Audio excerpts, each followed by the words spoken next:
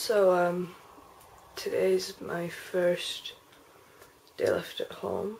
I went in an early night last night because I've not been sleeping at the right time, so I needed to be able to get up early. I still couldn't get to sleep, and uh, four and a half hours later, I'm up earlier than I have been in ages. I think I can't stop thinking like before you go off to uni, everyone says things like, "Are you ready?" and "How are you feeling about all this?" Because you know it's a big life change.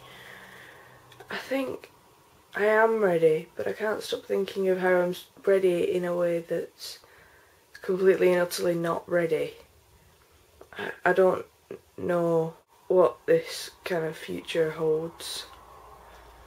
I just know that when it happens, I'll be able to meet it, I suppose. And I'll have fun doing it.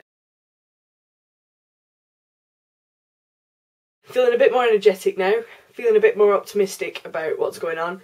Uh, I think I did make a good point though. Everyone does ask you, uh, you know, are you ready? And how are you feeling about all this? And I think it's like I think a, a bit of a softcore adventure uh, I mean, real adventures involved swords and dragons and unknown territories and, you know, stuff like that. But, um, really, it is a bit of an adventure because we're going into the great unknown, I suppose. And, uh, we don't know what's coming up, we don't know what's in in store for us, but it's still going to be really exciting to go through it because it's an adventure. So, yeah, that's how I'm thinking of it now. And no, oh no, this is such a big life change. Big life change, I think, is actually uh, almost my catchphrase since uh, we we decided we were all going to uni.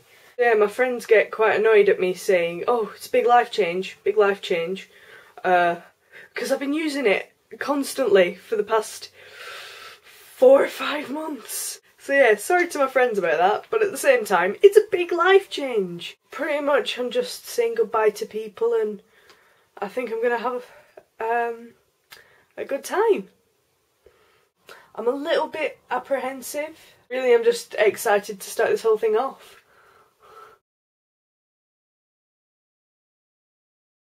So, I uh, apologise about the lighting. Packed up the lamp. Everything's more or less packed up and downstairs now. Got a few last bits to go down. It feels really odd, really, to know that I'm not going to be living here anymore. See you in my next vlog.